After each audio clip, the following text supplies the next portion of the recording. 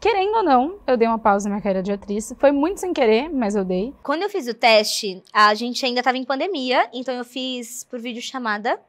E aí eu fiz teste pra Mônica e pra Magali.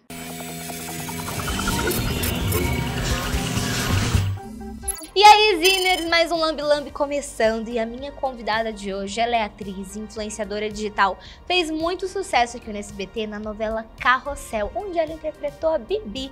Seja muito bem-vinda ao Lambi Lambi, Victoria Diniz. Ah, obrigada, Bela. Um prazer estar aqui. Prazer é todo meu.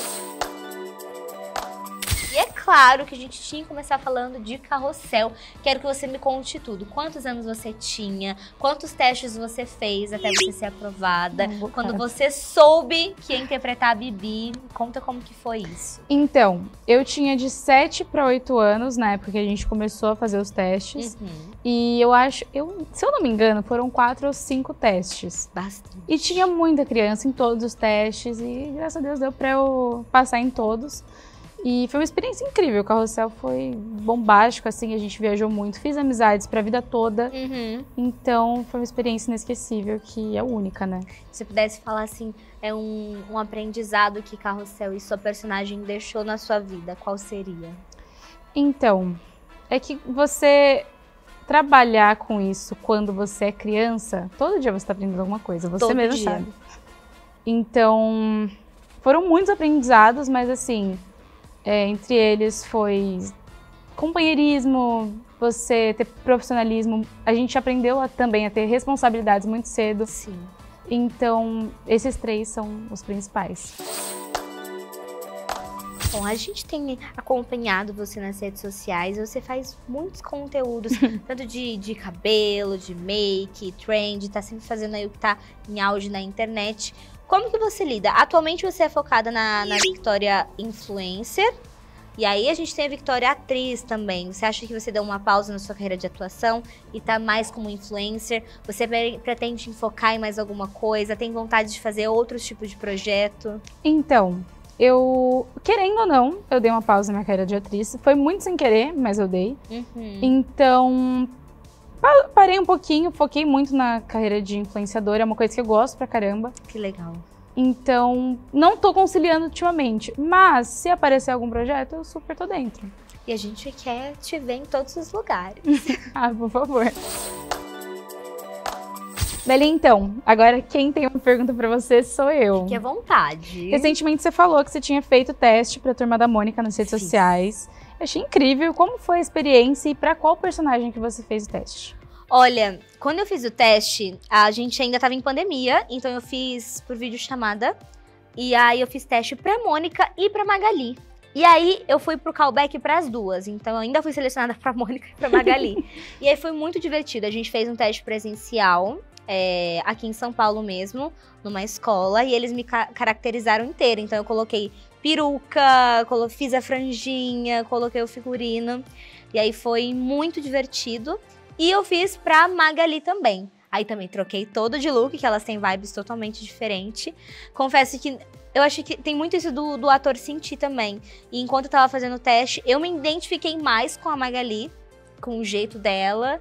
Então, mas foi muito divertido fazer os dois, porque a Mônica, ela é bem diferente, é uma personagem bem forte também. Mas na hora eu senti assim, eu falei, ai, se eu passasse pra Magali ia ser muito divertido. Não deu certo, mas a nossa vida tudo bem. A gente faz muitos testes e e que não dão certo. Só de eu ter chego até ali, chego naquela fase, pra mim foi demais. E, enfim, amei o elenco, tô ansiosa para assisti-los. Eu também tô. Chegou a hora de desafio, hora de tag tag. A gente tem aqui o jogo de memória das garrafas. Vai ser bem simples. Uma vez de cada, aí virou. Eu vou colocar aqui uma ordem. Você vai ter que. Aí eu vou Tá. embaralhar e você tem que colocar na ordem de novo. Entendeu? Tá. Ótimo, eu vou colocar uma ordem. Vemos que eu explico muito bem, Tá, né, mas e a galera? venda? A venda Aí é você- por quê? Vê se você prefere ficar de venda ou se você prefere virar de costas. Enquanto você embaralha. Ah, Enquanto tá. eu embaralho. Tudo bem, tudo Tá? bem. Entendi. Então, primeiro você fica de costas, que eu vou colocar uma ordem. Tá. Então vai. Eu vou fazer assim, assim, assim, assim. Ferrou, que eu já nem ia conseguir voltar pro que tava. Acho que é assim, tá? Assim. Vai, cinco segundos. 5, 4, 3, 2, um, Vira, vira, vira, vira. Sou muito do mal. Nossa senhora. Ah, eu já esqueci. Pode virar.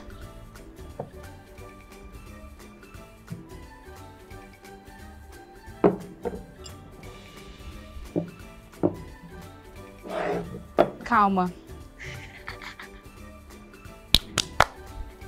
Rosa, amarelo. Ai, eu esqueci. Eu tô vendo que eu consegui voltar. Rosa, amarelo. Não é laranja, verde, verde. Não é rosa, rosa também. E aí, acabou o tempo? Como que tá? Acabou? Acabou? Ah, Vitória. Perdi, né? Ah, caramba. Agora é sua vez. Seja Tá. boazinha comigo, hein? Ai. Vamos, vai.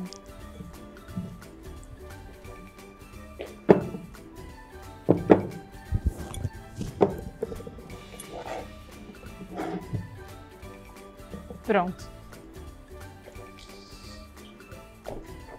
Ai.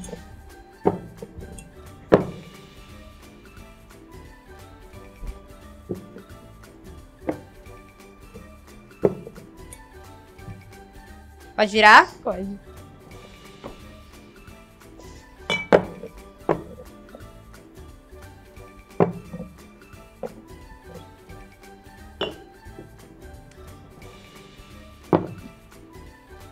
Acho que é assim. Ai, caramba! Não acredito. Tô ganhando, hein? Parabéns, parabéns. Então vamos lá, mais uma. Fica de costas.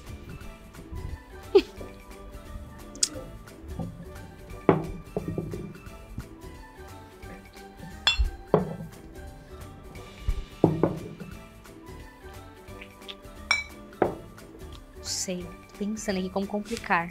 Acho que assim tá bom. Pode virar. Cinco, quatro, três, dois, um. Virou!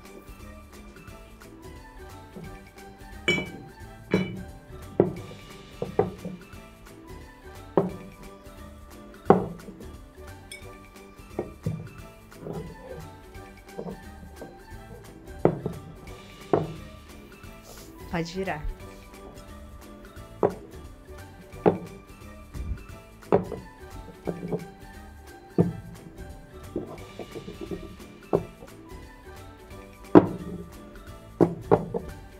Eu acho que você acertou.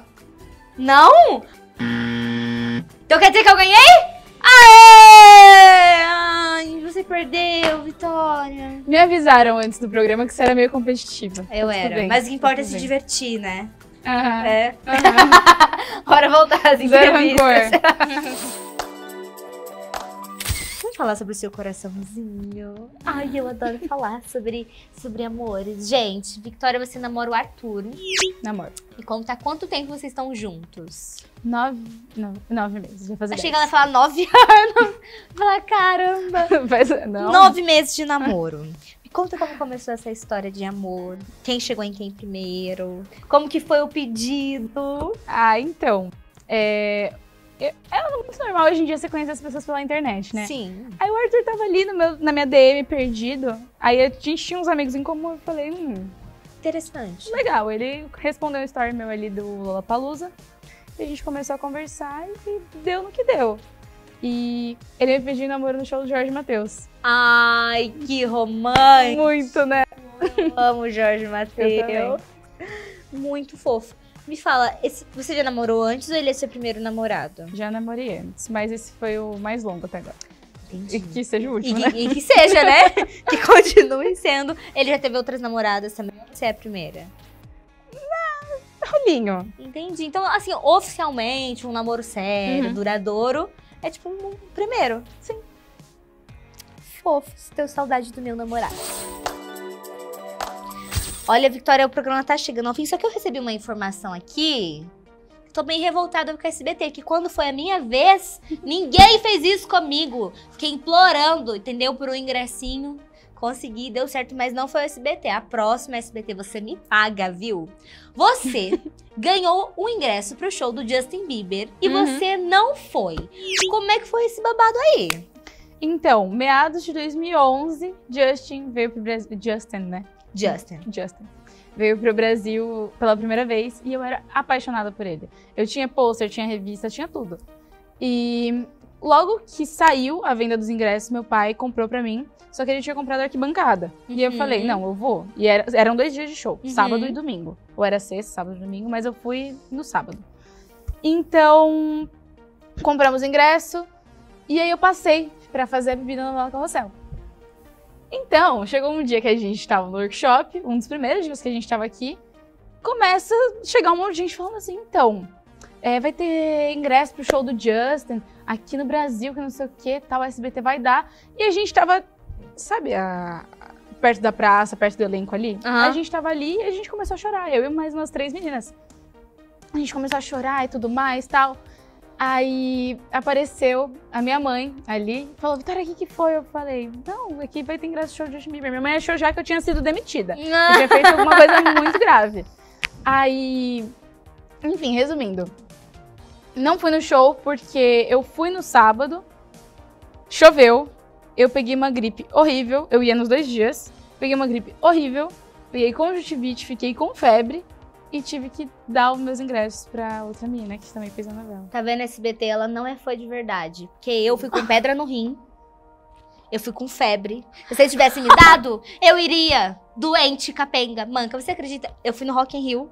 E eu estava com pedra no rim, fazendo tratamento já, tipo, há um mês e não saía. Inclusive, eu saí do Rock in Rio, eu fui pra cirurgia. Meu Deus. De tão sério. 30 minutos antes do Justin Bieber entrar no palco, começou a me dar uma super febre. Eu comecei, assim, me tremer no meio das pessoas. Aí falava, Justin Bieber, ah! Foi, tipo, pavoroso essa parte. Que depois que ele entrou no palco, eu nem senti mais as minhas pedras no rim. Mas deu tudo certo. Depois disso, você foi em mais algum show dele ou só foi naquele? Só fui naquele. Tem vontade de? Tem. SBT, faz um favorzinho aí. Vai, pô, a gente é tão legal com Com vocês. certeza. Produz aqui um conteúdo maneiro, tá? Tantas entrevistadas bacanas que vem aí. Eu, eu acho que, A que Bela tinha que dar um merece. jeitinho. Me Já levar passou seu aniversário? Não, ainda não. Eles podem guardar de presente pra você. Não é que agora ele não tá fazendo show, mas eles podem me dar, tipo... Mas da próxima, sim. Não é? Com certeza. Eu Fala acho assim, que ó, um Bela, contrato. Seu aniversário lá de 2022, Está 2023, assinado que o SBT assinado. vai te dar o ingresso. Entendeu? Concordo. Vi que a entrevista chegou ao fim, mas obrigada por ter vindo, compartilhado agradeço, sua vida. Foi incrível. Tudo, tudo, tudo. Foi demais. Obrigada. Obrigada. Obrigada a você também que assistiu até aqui. Um beijão, deixa nos comentários quem que vocês querem que sejam os meus próximos convidados.